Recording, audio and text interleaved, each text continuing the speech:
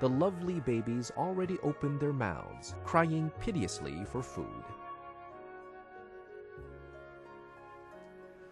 Under the meticulous care of the adult birds, three little lives grow up day by day.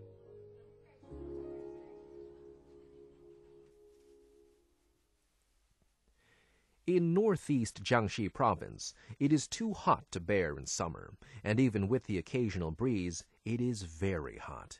With the movement of the sun, the nests of the yellow-throated laughing thrushes sometimes come under direct sunlight, which brings temperatures of over 40 degrees, threatening these young lives.